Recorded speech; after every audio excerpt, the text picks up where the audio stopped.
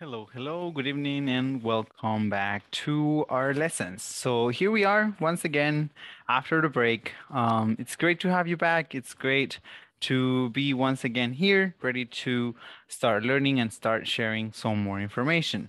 So we are um, coming back from a break. Hopefully, you guys had the opportunity to practice. And uh, well, I also hope you have had the chance to learn something new, which we are most likely going to be sharing um, during this evening's lesson. I would like to get to know what are like the new words or new phrases you might have heard or the ones you got to use. Of course, it's also important to know, um, or at least for me, what were some of the activities you guys developed and how did you spend your well-deserved free time. But before we get to any of that, I also want to explain something that we're going to be covering during this evening. We're going to be learning about um, something very special, which is um, have or get something done. Or, well, when we talk or use this structure, it is normally referred to something that we want people to do for us. So an activity that somebody else is going to perform, but the activity in the end is going to benefit us. So we're going to know or get to know today how to talk about that, how to refer to um, those situations. Now, apart from that, I also hope you guys are doing great. Um, this evening, probably you're also going to have a lot of participation as per usual.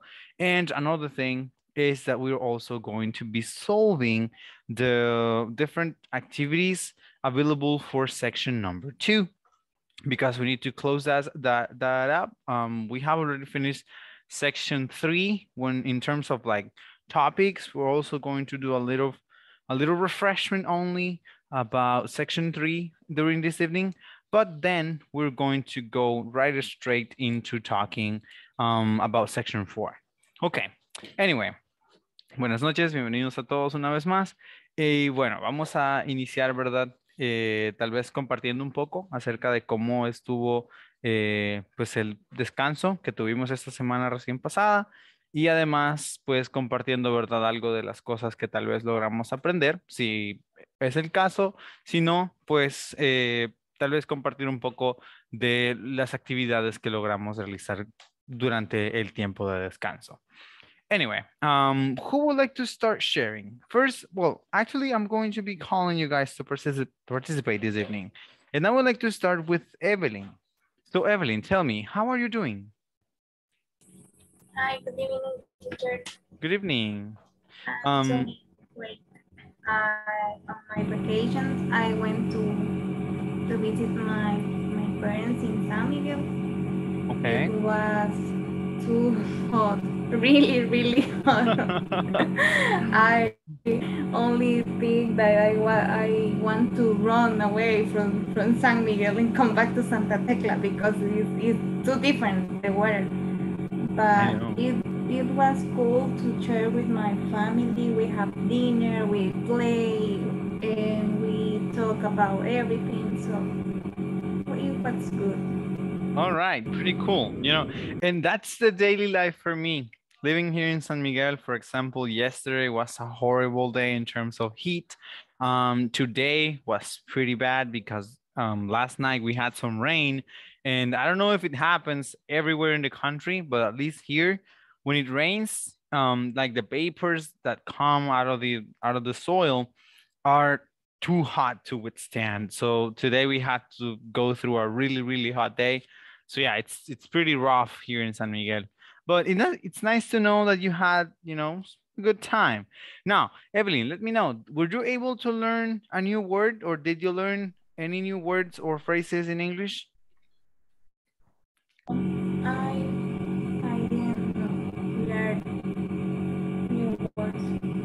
Right, it's okay. It's okay. So that means that we have more space, you know, in, in our brains um, to get to learn something new during this week. All right. Now, how about Emma? Tell me, Emma, um, how are you doing? And share something or share, share, us, share with us a bit of how did your week in the break go?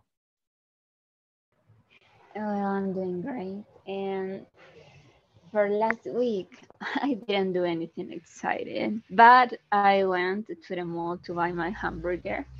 And Pretty cool. after, after that, I just read uh, English, a book about aviation because I have an exam this Okay.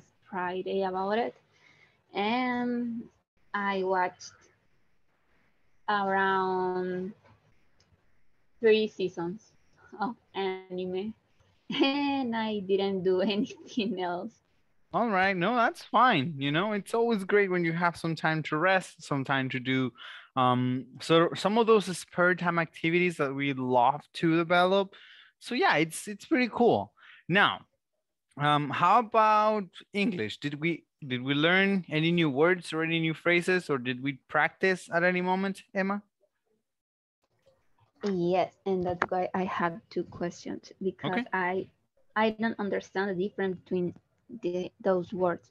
The first is what's the difference between ground and land, Oh, and in the difference between handbook and manual. all right, cool, very good. So the first one is ground. Did you said Yes, ground and land? yes, lend that, lend as as if in I uh give you something. Okay, so the ones that I sent in the chat right now. Mm, the second one with L A and D. Oh, ground and land. All right, ground and Yes. land. All right, very good. Ground and land. Nice. So when we talk about ground, um, we are talking about the surface, like everything that is the surface of something. Everywhere where there's like um earth and there's not necessarily water. So every time you're going to, to talk about uh, above ground is something that is above the level of the sea or above the level of, of water, any body of water.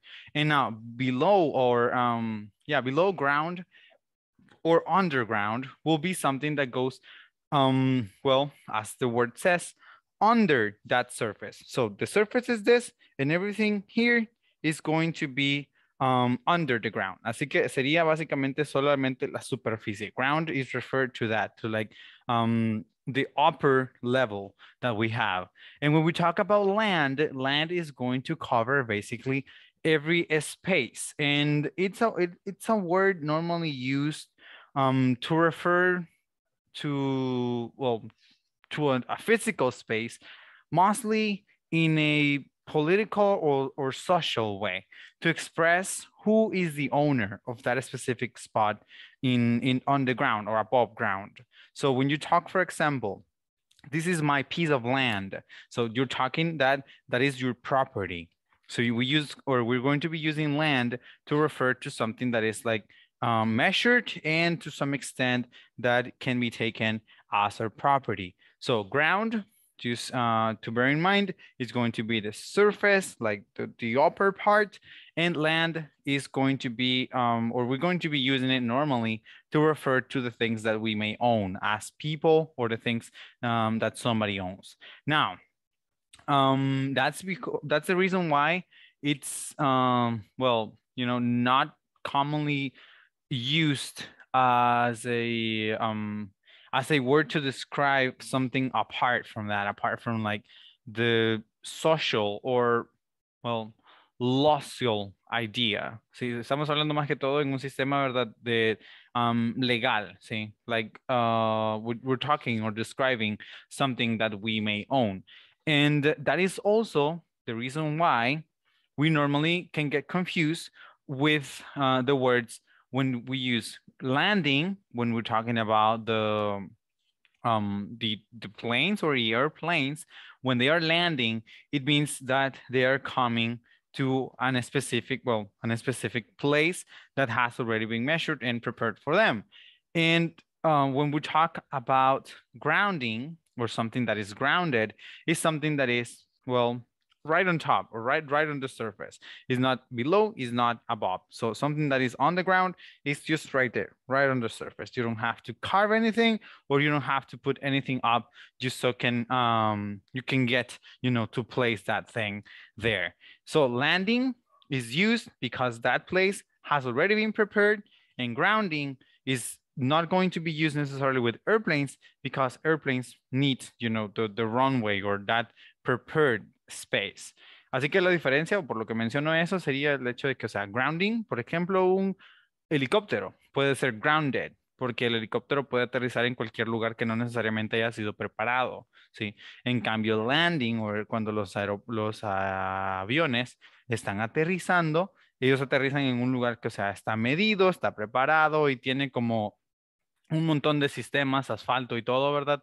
Lo que de alguna forma lo hace ya algo que, o sea, está por encima de la superficie. Y por eso es que no se va a, decir, ¿verdad? That plane is grounding, porque grounding tendría que ser directamente sobre la tierra sin hacerle ninguna ningún clase perdón, ninguna clase de cambio a esa tierra. Entonces, por eso los helicópteros, por lo general, se puede referir, ¿verdad? Que ellos están grounded o they ground porque pues pueden aterrizar sobre superficies naturales. En cambio, los aviones por lo general hacen landing porque son superficies ya preparadas, superficies medidas, superficies que se utilizan específicamente para eso. Okay, now the other ones were, sorry, I forgot, Emma handbook and manual.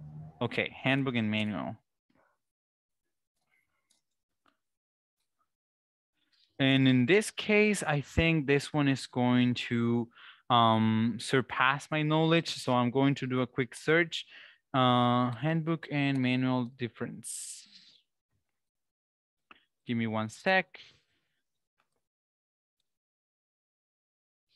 Okay, so here we have it. So the main difference uh, will be that a manual is a handbook, while a handbook is a typically organized book of reference in a certain field of knowledge, disregarding the size of it. All right, so um, now, sir, here we have it. The handbook sets the tone for your for your organization by outlining your policies, All right, so that's it. A handbook, we're going to use a handbook as instructions and it's basically the same as a manual, but a, a manual is going to be used when we're talking about objects, when we have instructions on how something has to be um, used or how something has to be built up or how you are going to um, to fix something. But a handbook and this is why I, I was I was still like you know rolling that word in my head is used when you talk about um, enterprises or companies. So a handbook is a list of instructions that you will get from your boss or you will get normally from um, someone that is trying to help you to be guided or well guided in an institution. So handbooks are normally used for institutional purposes or to provide you instructions in terms of, of how you're going to be um, expected to do something in an institution. a manual normally is going to be used for things you're going to build, be building up. So instructions on how you are supposed to do this, that, or the other thing. So handbook, we can also refer to it as something um, related to your behavior, how you are going to um, refer to others or talk to others. And manual is going to provide you more specific details on how you're going to get there. Like what are the steps you have to follow so you can get to a result. So handbook, instructions, a manual is going to be a step-by-step -step, um, description on how something is supposed to be done. Now, uh, once again, uh, we don't are we don't use them um, in the same way. A handbook, for example, can cover what a manual does, but a manual is not going to cover what a handbook does. All right, I hope I have been able to provide you an, an idea on how we're going to use this, these words. They are very tricky sometimes. The ones that I like best uh, if I'm to be honest, is the one between land and and and ground because that's something that I already knew. Uh, and yeah, it's it's a very common question, like how you're going to use uh, ground and land. But the other one was kind of tricky, but still, thank you for bringing the questions. And uh, okay, great. Did you get to to learn anything about this, or did you just um, thought of asking here, Emma? No, well, it's because in the book that I'm reading, there are many words like that, and I'm reading about handbook about take off the airplane in the wrong way. So I was confused because in some uh, paragraphs uh, there are words that mean ground, and other paragraphs just say uh, land. land. Yes, and I I didn't understand why. And, All right. But now I know. Thank you. No, you're very welcome. You're very welcome. All right. Now, uh, moving on to Melissa. So tell me, Melissa, how are you? And um, please share some of the activities or the things you did during the break. Hi, teacher. Uh, on my break, um, I went to the Tunco Beach, but oh, cool. only but only for it because I don't like the beach. Yeah, it's too rocky, right? Yes. Yeah. Yes. And so uh, we went uh, to the Suchitoto. Oh, cool. That's uh -huh. a really yes. nice town. And, and uh, visited to my friend, my best friend. I have a lot of time that we can see. Okay. Um, and also I try to watch movies and series in English. Mm -hmm. And I and I learn one idiom. Oh, cool. Which one yes, is it? to pack it, it, it in. Sorry, what was that again? Is to pack it in. To pack it in? Yes. To pack it in. Yeah, to pack, to pack it in. Which means, according to you, ¿cuál sería el significado de eso? ¿Cuál fue lo, que uh, to pack it in? Is uh, the same to finish an activity? Yes, there we go. It's basically the same as when we say to wrap it up. That's something I normally use uh, at the end of the classes to wrap it up. So it will be um, just when we're going, uh, when we're about to finish something to pack it in. So you're going to put it, put it in the pack, you know, you're going to close it and that's done. To wrap it up is also similar to that. However, wrap uh, is going to be used when we're talking about gifts or when we're talking about, well, just, you know, having a piece of something cover another something. So that's a wrap. So to wrap it up, those two are very similar in meaning. So pretty cool. Thank you very much, Melissa. How about You're welcome, teacher. Okay, how about you, Joel? How are you doing and how was your week during the break? Hi, good evening. Well, actually, they were lazy days. I just visited my father and slept a lot. Also, I watched uh, a lot of old sitcoms like Malcolm in the Middle and some old movies as well. Moreover, sorry, I'm a little bit bad. Okay. I download an app, an app called Elsa, where I practice my English. It's a good app.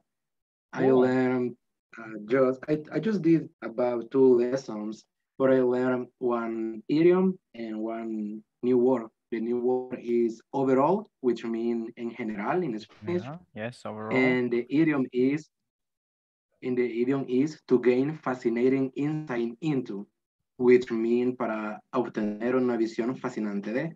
So for example, to gain fascinating insight into English, you have to master the language. That could be an example. Yes. Basically, okay. that's all.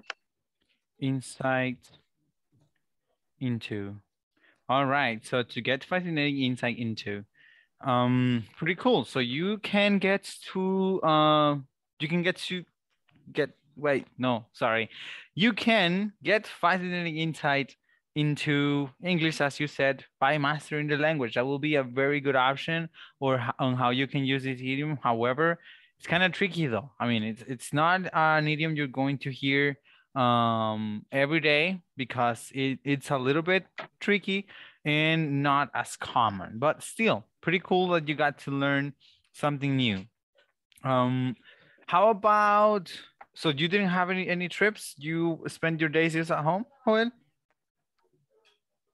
Yes, I just slept a lot. And as I told you, I just visited my father. Oh, yeah. Suchitoto.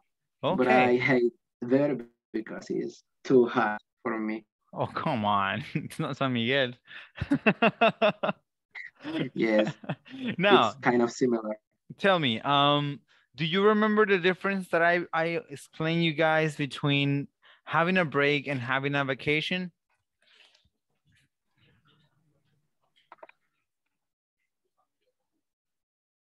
Okay, anyone who remembers that difference or who remembers the difference between having a break and having a vacation? When you go on vacation, what is it or what makes it different from having a break?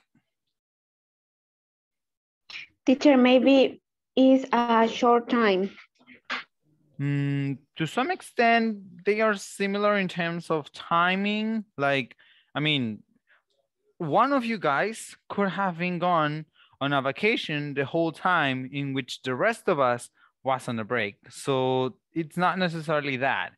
Now, but I there, right there, I mentioned a detail that is relevant to getting um, that difference. You know, when you go on a vacation, it is when you travel, when you leave your house and you go to a different place. When you have a break is something like what Joel had. I mean, and me myself also. Um, but putting Joel as an example from you guys, and he mentioned that he didn't do many many trips. He didn't go um, to many places. He simply just went to visit his dad, and then he spent the rest of his days just watching some, some sitcoms, some old movies, and to some extent probably practicing English or studying, you know, something new. Um, so yeah, that is what we can take as a break. But for those of you who went to, well, in your case, you, said you went to El Tunco, but just to eat, but still you traveled and that can be counted as a vacation. So when you go on vacation, it is that, uh, or the meaning is that you're going to be traveling to a different place. Now, just please keep that in mind because normally in Spanish, we only say we have a vacation. But in English, we have those two differences. So when you're telling people, oh yeah, we are going on vacation next week, it means that you're going to travel. You're going to go to a different place and you're not necessarily going to be home. However, if you simply um, are going to stay home while the rest of people are also, you know, having that free time, that means that you are on a break. ¿sí? La diferencia sería entonces, um, pues la pobreza, ¿verdad? No, y los deseos de salir que podamos tener. El, el detalle de going on vacation is when you leave your home. And when you are only on a break is that when you are still at home, just, you know, having some free time. All right. Bueno, ¿alguna duda que les haya surgido durante este periodo? ¿Alguna situación que quisieran aclarar aparte de lo que ya hemos mencionado? ¿O tenemos todo eh, claro de momento? It's clear so far. All right, very good. Therefore, um, we are going then to be um, solving something. I want us to go ahead and complete all these activities. We have four of them. Uh, wait, no, it's only three of them. So we only have three of them. We have the first one, which, which is the trickiest one, I would say. And the instruction is very straightforward. Um, rewrite the sentences using passive and the preposition given. Don't forget to use capital letters and periods. So that's the instruction we have. Remember, this is from um, the second section where we were learning how to describe some problems. The first one was talking about problems. Now here we are getting to describe these problematic situations or these problems. And we have only four sentences and we have to rewrite the sentences um, placing them in passive voice and using also the preposition given in each and in, in every case. So here we have the preposition by. We're going to have to use by somewhere, normally in the middle of this um, conversation to turn it into a passive voice. Now, how would you do that? How would you use um, those uh, instructions and turn this uh, sentence, air pollution is threatening the health of people in urban areas. How would you do that, Evelyn? The health of people in urban areas.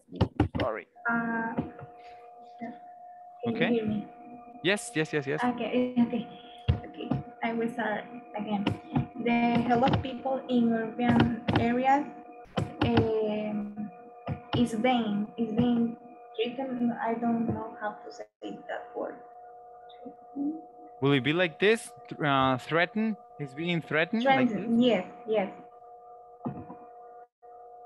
By air pollution. Being threatened by air pollution. Ooh, air pollution. All right, so We'll discard it. We're gonna check it and it caught it. Yes, the health of people in urban areas is being threatened by air pollution. Very good. Now, how will we do this with this uh, next sentence? Livestock farms have contaminated soil and underground water. And then the um, the preposition we have in this specific case is because of. How will we turn this active sentence into a passive? Melissa? Um,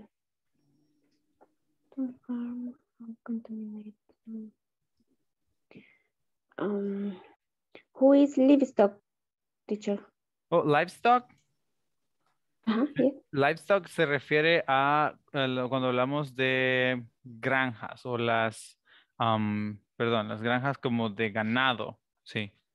Livestock sería como el ganado, o sea, cuando hablamos de, de las granjas que son específicamente para el consumo, o sea, para mm, matar a los animales, no necesariamente para que puedan vivir ellos a gusto, sino, ajá, solamente para poder consumirlos, ¿verdad? A eso se refiere, a ese tipo de granjas. So that's livestock.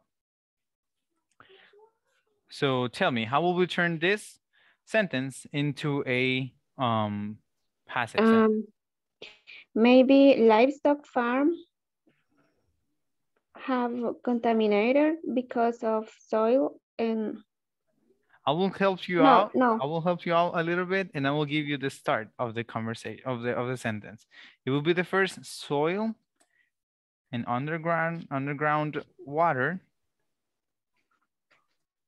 have contaminated. Mm -hmm.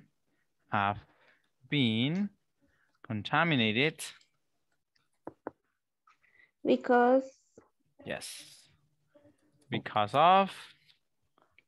Because of livestock, livestock farms. farms. Livestock yes. farms. Livestock farms. There we go. So that will be our sentence. Now let's check it out. And apparently we got it right. So soil and underground water have been contaminated because of livestock farms. Very good. Now, how about this one? The burning of gas, oil, and coal has created acid rain and the preposition we have is as a result of. How are we going to turn this sentence into a passive sentence? Um, Emma. Acid rain has been created as a result of the burning of gas, oil, and coal. All right, as a result of the burning of gas, oil, and coal.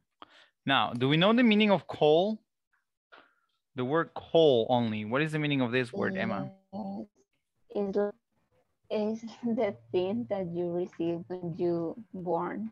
Good. Wood, yes, right. there we go. Yeah, and also we can get it from soil. I don't know how though. I have never really um gotten to un gotten to understand how is coal produced like on soil or on the ground, but some people mine it as a mineral. I don't honestly don't know how that happens, but it's also a kind of mineral. Now, the most problematic coal is going to be that one, the one that is extracted from the earth, the one that is mined. But yeah, that's basically coal as well. The thing we get when we burn wood. All right, now the last one. The use of CFCs in products like hairspray has created a hole in the ozone layer. Now, the preposition is through. We already know, Joel, you're going to be in charge of this one. How are we going to turn this one into a passive? Okay, it would be a hole in the ozone layer has been created through the use of CFCs in products like hair sprays, spray. Okay. Through the use. One more time. Mm, it's okay. A hole. Okay. Okay, go ahead, go ahead, go ahead. Okay. A hole in the ozone layer have, has been created through the use of CFCs in products like hairspray. There we go. And we got him right. Very good. So we are doing amazing. So this is the first of the three different exercises in this section. Now we're going to move, move on into the second one. This one is a listening practice. I have already solved it. So we're not going to spend too much time on this one. Now it's pretty simple. You only have to listen to the people. Um, they're going to be providing some explanation on the situation that they're living or the situation that they want um, to explain. And well, Jenny, the first one is going to be talking about landfills. Um, Adam is going to be talking about the, uh, the thinning on the ozone layer or of the ozone layer. And Kathy is going to be talking about water pollution. So those are the three different um, parts of this conversation. Now, this one is also very interesting. However, it's kind of simple either um, either way. Now, in, sorry, instruction is pretty straightforward. Find one or more solutions for each problem. And here we're going to be reading this ones first and then the question. The first options as, you know, the options are going to repeat in the next questions. That's why I'm going to be reading this one's first, and then we're going to be going to the questions. Um, to build um, to build more public housing, that will be one of the options. To train people in modern, it will be modern farming methods will be another of the options. To start free vocational training programs will be the third one. To educate people um, on the streets, that will be the fourth one. To provide ways for people to voice their concerns, that will be the fifth one and to develop cleaner public transportation, the sixth one. Now, for the first um, sentence, we have one way to reduce famine is, what will be the best way to reduce famine? Will it be by educating people on the streets? What do you guys think?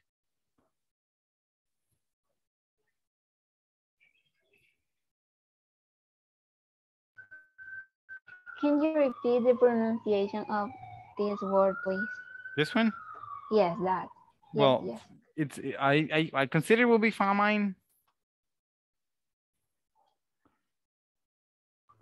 Okay, thank you. Yeah. So the what will be the best option on your ideas? The second option. Second option to train people in modern farming methods. All right, very good. Moving on the best way to fight HIV or AIDS is? What will be the best way to fight HIV, HIV or AIDS? What do you guys think? Would it be to provide ways for people to voice their concerns? To educate people on the streets. To educate people on the streets, very good. So that will be the best way to fight HIV or AIDS, as misinformation is a very tricky thing when we're dealing with um, situations as crucial, you know, as HIV or AIDS. All right, now the third one.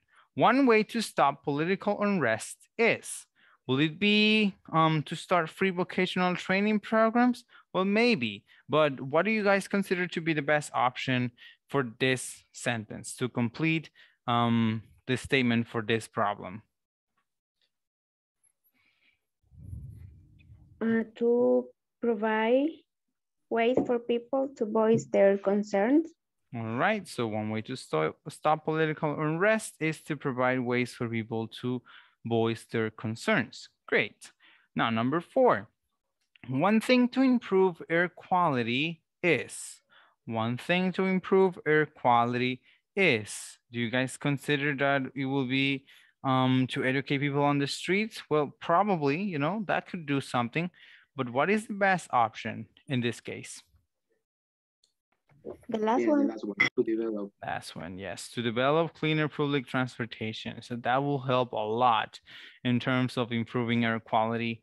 Um, that's something that I don't know if it has been dealt dealt with, but the last few times I went to the capital, la, las últimas veces que estuve en Salvador, I noticed that most of your bosses, they have huge amounts of pollution being released into the air. Um, so yeah, hopefully that is something that gets taken care of pretty soon because it's it's really really damaging. Anyway, um, the best way to reduce poverty is. Um, do you think it would be the best way just to provide ways for people to voice their concerns? I don't think so, but what is the best option, guys? Start free vocational training programs. All right, so to start free vocational um, training programs. And that gets us to the last one. And it will be one thing to help the homeless is, and this one is pretty straightforward. It will be the first one, and it is um, to build more public housing. So that's what's going to help a lot with dealing with the homeless. Now, from this, actually, I want to get to hear your opinions on this one. I know it's not necessarily the thing we are supposed to be doing here, but I would like to hear your opinions. Do you guys think this um, sentence or this idea is accurate or how would you interpret this? The best way to reduce poverty is to start free vocational training programs. Do you think this is um, accurate or what do you think? Um, Evelyn. Let's go and start with you. ¿Qué cree usted? Do you think this is something that actually happens, that we can end poverty by educating our people? I think it could be a little bit of help, but that way won't reduce poverty. All right. All right. That's then your take on, on the matter. How about Emma? What do you think? What will be your take on this specific um, sentence? The best way to reduce poverty is to start free vocational training programs. What do you consider to be the best way to approach that? Uh, can I say another option that? Sure. Option that sure. I, well, from my point of view, the best way to reduce poverty is to uh, make more opportunities to people who want to get a good job because I don't think that to give money is a good option. I think that if we work hard for the things that we want to do, we can improve our economy. And if one person that don't, doesn't want to work, maybe we don't have the obligation to help them to go to live to, how do you say salir de? Sorry? How can I say salir de, in, in this case, the poverty? Oh, get out of. Get out of. Well, yes. Uh -huh. Just if a person doesn't want to work and doesn't want to do something hard to improve their stability. Economy. Yeah, and get so out of their situation. it's our, our obligation Yes, and that's all right. All right, very cool. So, you know, providing more opportunities for people will be a better way. Now, free training or free vocational trainings are a way in which we provide opportunities, but you're right. They they are not necessarily the best option because like you may be well educated, like super educated, but if there's no jobs around, then how are we gonna do? So pretty good take. Now, how about you, Well, What do you think? Do you think the best way to reduce poverty is to start free vocational training programs? Yes, I I think that is very accurate, but also I would like to add uh, to keep the youngest one uh, busy in studying, you know, to make more more motivationally the classes, so they uh, develop these days, you know, for keeping studying and keeping uh, in their mind that they want a, a, major for their life and, you know, to reach a, a high degree in, in college or I don't know. So yeah, but I, but I consider it's very accurate, that, that one. All right, very good. Thank you. How about Melissa? What will be your take on this, Melissa? Do you think the best way to reduce poverty is to start free vocational training programs? Um, I think that is good, but also I think that um, to educate or improve the education in the country mm -hmm. uh, will be a good idea because uh, if necessary, the education for can um, uh, have or getting a good job or maybe it's important uh, when the person uh, want to uh, want to be uh, entrepreneurship maybe mm -hmm. on create programs about this. All right. Very good. Yeah you know i actually um i think it was the last the last night that we had class so it would be last friday i don't remember well but i think it was last friday that I was supposed to go to bed, but I decided to watch a movie because, you know, the break. And I started watching this movie, um, The Social Network. I don't know if you guys have ever seen that, but it's about the creation of Facebook and how it all started, how the whole thing was, um, or it's supposed to have started. And there was a line that I actually liked um, from from that movie and it is the fact that the dean, I think it was in the Harvard University, he mentioned that in Harvard during those days, students were not preparing for a job. The students were creating their jobs. So, but I think that cannot happen if you're not well educated because if you don't have knowledge on a specific area it's going to be very tricky for you to create your own job but this also takes me to a story that I once heard from a high school teacher.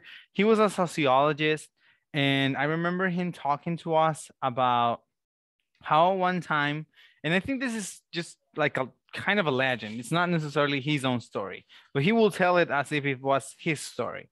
But he mentioned how a community in Morazan, they had a cow, and everything depended on that cow. Like everything that the whole community did was just to take care of the cow. And they were all working just to get food for the cow, just to um, get or milk the cow. And every time the cow was sick or the cow had any problem, well, the whole community will suffer. Now, what happened when they um, supposedly killed the cow was that the family had to come up with new ideas. They had to create something new. And it's something that I have seen that also took place during, well, the last few years with the pandemic. I noticed that many people came out of their cocoons or came out of their comfort zones and started creating their own jobs. So I think this one is kind of accurate, but at the same time, it also needs some reinforcement from inspiring people, as some of you or one of you guys mentioned, how you can inspire, um, well, population to believe that they're not set on a stone, like they can go outside of the comfort zone and start also creating their own ideas. But okay, pretty cool. Now, let's go into the class. I just wanted to get to know some of your ideas. I just wanted to, to share for a little bit and also practice if, if possible. All right. Um, just a question. Esa es una pregunta bastante personal que les quiero hacer y esa sí se las voy a hacer en español. Y es si ustedes, porque me parece que, o sea, no necesariamente todos, pero ustedes el programa lo reciben como un beneficio de, del trabajo o ustedes están pagando por él. O sea, no sé, en el caso de Evelyn, Elisa. En my case, eh, no lo estoy pagando yo, pero como me descuentan del seguro social en mi trabajo, eso lo cubre el INSAFOR. Ah, ok, ok. Entonces no, no pago. Súper. ¿Qué tal, Melissa? El mismo caso, teacher, es por parte del trabajo, pero eh, se descuenta también del, del, seguro. Ok. Emma. Inicialmente el curso estaba para jóvenes también, así que era para jóvenes y trabajadores, aunque no eran parte del seguro. Ah, ok, pero sí, sí tienes que pagarlo tú o cómo es el... Mm, no, no, solo completar los requisitos como de la beca. Ah, ok, súper. No, que pagar nada. Muy bien. ¿Y Joel?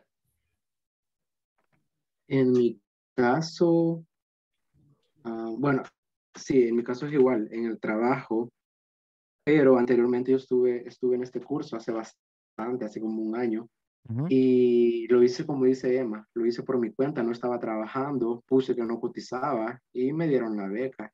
En este momento que volví a hacer el proceso, sí puse que estaba trabajando y creo que me lo descuentan también, ni sabía eso, de hecho. Hace poco me quedé sin empleo también, de hecho, así que no sé cómo vamos a hacer para el siguiente mes, porque Recursos Humanos hacía el papeleo por mí, pero supongo oh. que ustedes de inglés, de inglés corporativo me van a explicar, ¿verdad? Si lo haría por mi cuenta o si me limitarían hasta aquí, realmente no sé. Supongo que nada. Supongo que lo van a hacer porque igual en mi caso... Yo creería que sí, porque por ejemplo en mi caso no lo llena recursos humanos la documentación, sino que sí estoy como afiliada al, seguro, pero la beca es como personal. Personal. Entonces yo lleno mi propia documentación, así que me imagino que en el mismo caso sería. En mi caso sí lo llenaba, en mi caso sí lo llenaba recursos humanos, eh, porque incluso la de recursos humanos me enviaba, me enviaba a mí los correos para decirme que todo estaba ya en,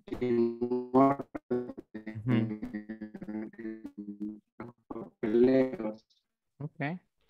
Bueno, yo recomendaría en ese caso específico que tal vez pudieses comunicarte con Paola, quien fue la que al otro día mandó un mensaje diciendo que iba a ser la encargada, porque, bueno, por lo mismo, ¿verdad? La situación de la pandemia, eh, muchos de nosotros los facilitadores en realidad no, no, conocemos a fondo cómo es todo el funcionamiento, ¿verdad? De corporativo. En mi caso, yo tengo ya alrededor de seis meses, poquito más, trabajando con ellos pero no necesariamente yo he sido parte de ninguna cuestión administrativa, entonces, y a cada rato los estudiantes tienen preguntas como esas y por eso les preguntaba, porque, o sea, es algo que es importante, ¿verdad? También conocerlo, así para saber si los puedo amenazar que se van a perder la beca en el caso que, que vayamos fallando en algo.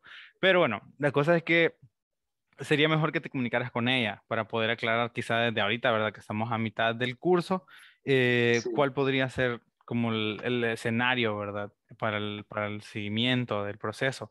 Porque sí, yo no sabría decirte ni decirle a ninguno de ustedes cómo funciona, por eso es que yo casi siempre les pregunto, porque a veces conocen más ustedes que yo mismo, ¿verdad? De cómo funciona todo esto, por el caso de la longevidad que muchos tienen ya con corporativo y pues que yo no necesariamente tengo tanto, tanto tiempo acá, ni tampoco eh, bueno, conozco las oficinas, fui una vez, pero por algo bien esporádico. Estaba con una amiga que fue quien, eh, pues, de cierta forma me, me contactó con quien antes era la directora, pero aparte de eso, o sea, no es que yo haya ingresado nunca ni haya tenido clases presenciales ni nada. Pero bueno, eh, sería bueno, Joel, que sí, o sea, si está esa como incertidumbre, ¿verdad? Que te comuniques con ellos. Sí, lo voy a tomar en cuenta. De hecho, creo que lo estaría haciendo mañana para ver.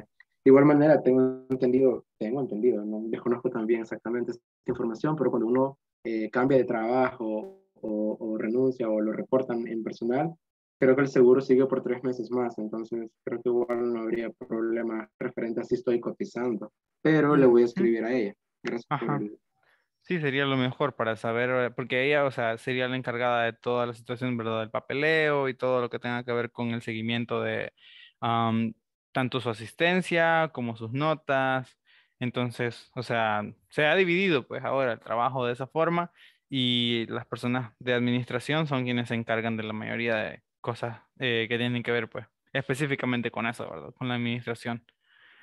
Pero bueno, okay, so um, now we're going to learn something for a couple of minutes. We only have, well, around 10 minutes more. It, oh, my bad.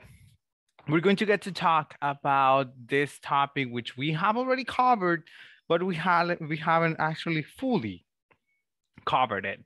Um, I think we haven't really talked about this, how we are going to be using or the three main uses we have for this um, structure, the by plus gerund. Now, the gerunds, as I have already mentioned, are a specific characteristic of the English language. No other language, or at least not um, Spanish, doesn't have a characteristic or a structure that we can replace with a gerund or we can use instead of a gerund. So this do not exist in Spanish. Now, one of the things about the gerunds is that they are very polyphacetic, like they can be used in many different places and for many things. Three of the uses for this structure, not for the gerunds, but for this structure by plus gerund will be the following. For example, you can use it to say how something can be done. Yeah, just to say, not necessarily to describe, just to say, just an opinion on how something can be done. And an example would be, you can improve your English by doing a lot of reading. So that is just an statement, you know, what I have heard or what I have learned. Um, so when you say, remember, it's only an outage of the voice, something you want to share. Now, the second use would be to describe how something was done. So how something happened. I learned a lot of idioms by watching TV. So this is also one of the uses or one of the things you can explain or um, express by using by plus gerund. So I learned a lot of idioms by watching TV. So this is something that has already happened. And then the last use is going to be to describe how something could be done. One way of becoming fluent is by talking a lot in class. And that's what I've been trying to make you guys do this evening. Now, the differences here, or the main differences. The first one, this is all in present time. So everything here is in present time. Therefore, this is only a statement. Sí, cuando hablamos de un statement, hablamos como de una afirmación. So um, you can improve your English by doing a lot of reading. That is just the thing that is going to happen. Now, this one over here, when you're going to describe how something was done, of course, we're going to be using a past tense for the verb. So that's what we have to keep in mind. We're going to use it in the past. I learned, not I learned, but I learned a lot of idioms by watching TV. Um, so here we're using the past structure. And when we want to describe how something could be done, we use is. Eh, before we use uh, by plus the gerund, we use is. One way of becoming fluent is by talking a lot in class. Now, taking this as examples, now we're going to create our own. And I would like to start by hearing from Joel. So Joel, provide me please with one example you could use for the first of the uses we have for the gerund, for by plus gerund. For the first use, what would be something you would say um, uh-huh. using that structure? Okay, let me Um, for example, could it be you can you can learn how to cook by watching TV cook, cook cooking programs. Cooking programs. Okay, you can learn how to cook by watching by watching cooking programs. Yes. Okay, so there we go. If it, that could be. Yes, it is a good example. It is a good example because um, we are actually covering, you know, the explanation or the statement. So this is just a random statement, something I want to say. You can learn how to cook by watching cooking programs. That can happen. I think it has happened. So very cool. Now, from Evelyn, please provide me with an example with the second use, how you would describe how something was done. Remember here, we're going to use the past structure. So um, how would you do or um, what will be an example you can provide? Evelyn? Maybe I learned to do mountain cycling by practicing every weekend. I learned to what? Sorry? To do. I I don't know if to do mountain cycling. oh, okay. Mountain. mountain cycling by? Practicing. All right. By practicing every weekend or every week? Week. Every week. Every week. All right. So by practicing every week. Thank you very much. I learned to do mountain cycling by practicing every week. Nicely done. And for the last one, to describe how something could be done. How would you do that, Emma?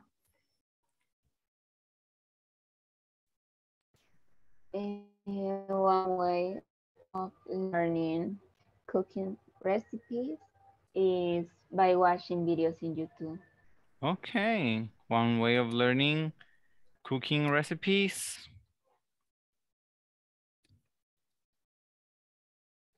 Yeah, recipes is by watching videos on YouTube. All right, so videos on YouTube. Recipes, what's wrong with you? Oh, sorry. All right, so there we go. Now, it's very important, very, very important for you guys to remember. You're not always going to be using the same verbs. For example, here we can use something different. We can say, for example, I um traveled. I traveled. Ooh, I traveled to Europe just to say something. I traveled to Europe by saving, let's say, $50 each month. Entonces, tenemos una oración, ¿verdad? En pasado, viajé a Europa, ¿sí? A través de guardar o al guardar 50 dólares cada mes. So, I traveled to Europe by saving uh, $50, $50 each month. And here, we can, instead of saying one way, we can say something you can do, something you can do. Eso podría ser un poco más largo, claro, eso sí. Something you can do to learn cooking recipes. Oh, wait, no, no, no, no. Wait, wait, wait, no, no, no, no, no. Era diferente como lo había pensado. Dang it, I forgot. It was not something you can do. Um, something to, no. Something, my God, no, my bad, guys. Cuando lo estaba diciendo Emma, se me ocurrió la otra forma, porque no necesariamente nos vamos a quedar siempre, ¿verdad? Con el one way, o sea, podemos utilizar otra forma, pero se me fue, así que me queda de tarea, porque sí la tenía en la mente cuando Emma dijo la oración, pero con la otra se me olvidó. Evelyn, perdón, iba a mencionar. No, I was thinking that if you can say something that you can drive, um, not necessarily because here is the problem. Cuando llegamos aquí sería el problema, que aquí se va a perder el significado. Sí, porque decimos something you can try, algo que puedes intentar, sería a través de ver videos, sería raro, ¿verdad? Esa, esa forma. Y el detalle es por lo mismo, porque como estos gerunds no existen en español, suena bien raro traducirlo. O sea, porque aquí sería, eh, si yo lo digo en español, sería por viendo. Y por eso es que muchos niños, cuando ellos vienen de Estados Unidos, hablan de esa forma. Sí, o sea, ellos pueden decir, ¿verdad? qué sé yo, quiero ir a, a San Miguel por manejando el carro. Entonces, porque esto, los gerunds, no tienen una traducción directa. Siempre que llegamos a una, a una oración como esta o una sección como esta, tenemos que buscar una manera en la cual acomodemos este, eh, este espacio, esta palabrita, a una manera que utilicemos en español, porque en español no existe el gerund. Entonces, la forma de traducirlo sería, o sea, así, ¿verdad? Por eso les dije cuando, por eso, por eso sonó raro cuando les dije aquí, por guardando, o sea, porque así sería en inglés, por guardando 50 dólares al mes, pero es porque en español, o sea, no existe directamente una forma de traducir eh, los gerundios. Pero bueno, eso será algo que continuemos conversando más adelante. Uh, for now, I think this is it for the class this evening. I wanted to thank you guys very much for being back. And tomorrow, well, we're going to have something else so we can learn. Um, thank you once again. I hope you guys get to enjoy your evenings. If it rains, well, please enjoy it a lot. And I will be seeing you here tomorrow night. So see you tomorrow. Have a really good night. Bye, teacher. Bye-bye. Good night.